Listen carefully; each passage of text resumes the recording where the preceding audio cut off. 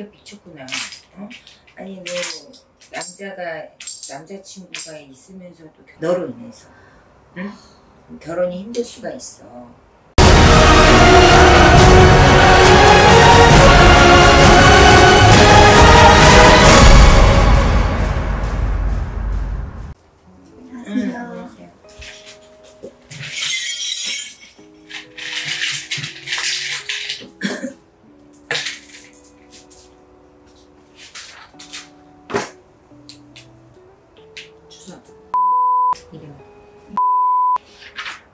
뭘 해보려고 온 건 아니지? 응? 네. 저좀 뭔가 좀 상담받고 좀 고민거리가 너무 있어서 상담받고 싶어서 찾아왔어요.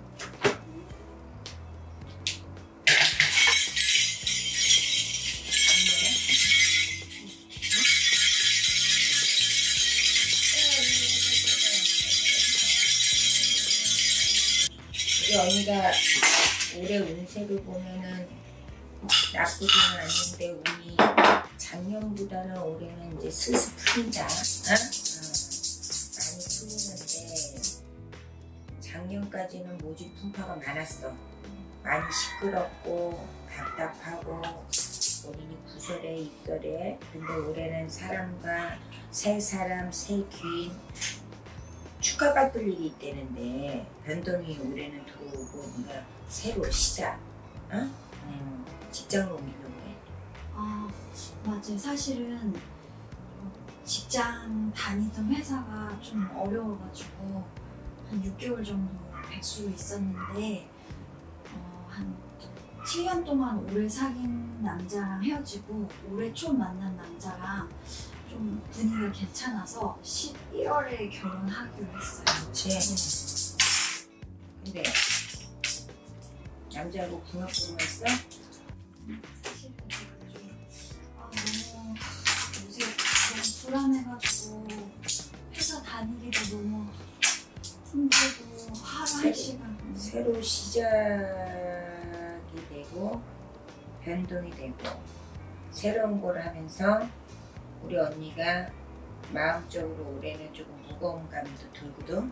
어? 뭔가를 새로 변화를 주면서 내가 또 무거운 거 어? 좋은 것도 있지만 나쁜 것도 있단 말이지. 응? 그래서 올해 새로운 거에 자신감을 좀 가져야 될 필요성이 있는데 언니 임신했니?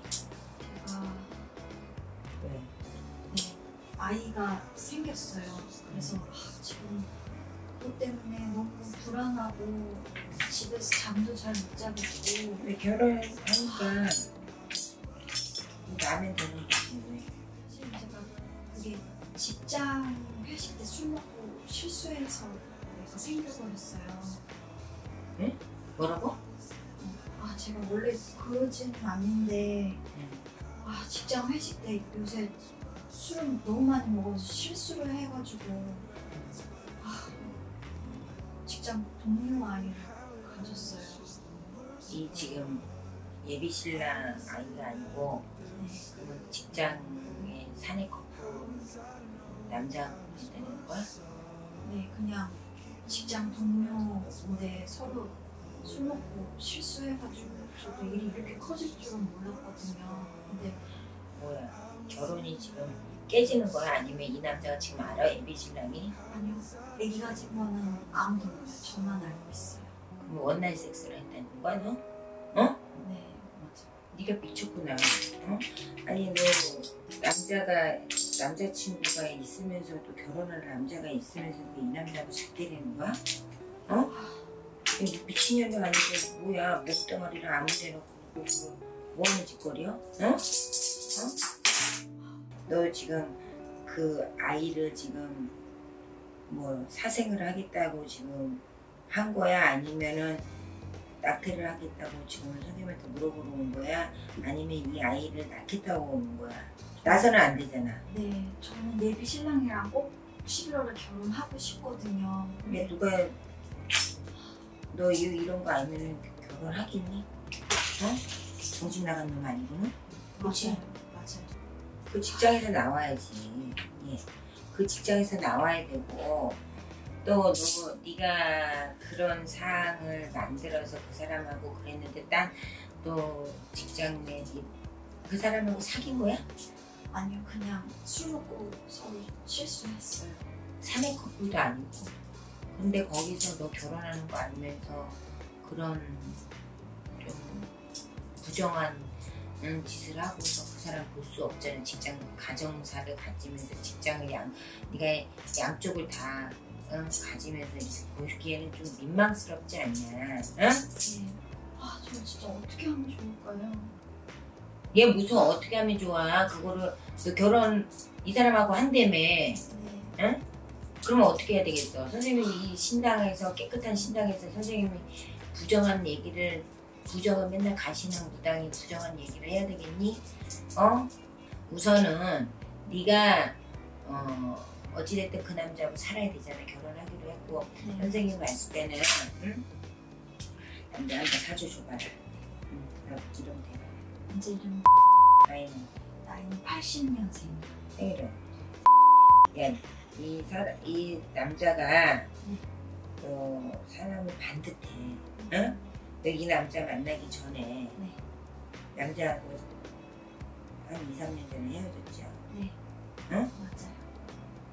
네가 여태까지 지금 만난 남자 중에서 이 사람이 제일 반듯하고 이 사람 좀 나이 층하가 있어서 그러지 좀 사람이 반듯해 보여요 응? 어, 온화하고 가진 것도 조금 안정되고 응? 이 사람은 어떻게 보면 자네가 올해 운이 좋은 게 이 사람 만난 지 얼마나 됐어? 어, 올해 초에 만나서 얼마 되진 않았는데 이 사람이 성실하고 직업도 괜찮고 해서 상견례까지는 했거든요. 그래서 엄마 아버지도 이 사람 좋아하죠. 네 엄청 좋아하시고 사람이 되게 반듯하고 인성도 좋아요. 근데 우리가 세 사람을 만나서 세 사람이 들어와서 새집 지어서 3년이라 그랬어. 네가 시작도 하기 전에 부정이 있는 거는 음, 어떻게 보면 이 한 한 사람을 네가 좋은 기운이 때 재수를 네가 소금을 확 어, 부정으로 끼얹은 격이야 지금. 그렇기 때문에 지금 너한테 그 사항이 좀 부정이게 음, 걷어내려고 하면 어떻게 보면 좋은 것도 나쁘게 지금 이 사람을 가로막을 수가 있어. 그리고 어찌됐든 이 태아의 혼신도 혼신이야. 선생님 봤을 때는 이 아이를 어? 선생님 입에서 좀 말하기 민망스럽지만 낙태를 하는 거가 맞다라고 생각을 하는데 네가 이 사람을 잡으려면 그래야지 그치? 네 맞아요. 이 사람을 놓치게 되면 또 이만한 남자가 오기가 조금 버거울 것 같아요 아, 근데 이 사람은 잡아야 되는데 이 사람이 이걸 알게 되면 너하고 미쳤다고 결혼하겠냐? 그러면 아, 본인이 또 이혼이 파혼이 되고 그러면 거기에 대한 상처도 또 본인도 또 힘들어질 것이고 본인이 인복 인덕 없는 여자는 아니야. 근데 지금 본인 자체가 음, 운기가 지금 안 좋을 때 본인이 이런 행동을 해- 한 거야. 어?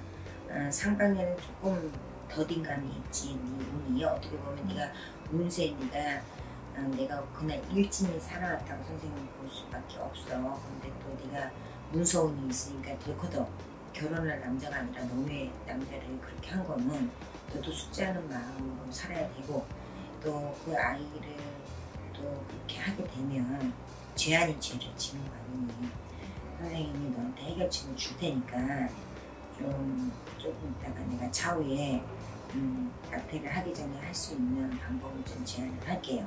음, 그렇게 하고 또 네가 지금 어찌됐든 이 아이로 인해서 너도 피부정이 낄 수 있고 아, 응? 또 살생 부정이 낄 수 있고 이건 큰 중죄다 우습게 생각하면 안 된다. 그렇기 때문에 그러다 보면 네가 죄아니지 우리가 알고도 지은 죄 모르고도 지은 죄가 많아 인간은.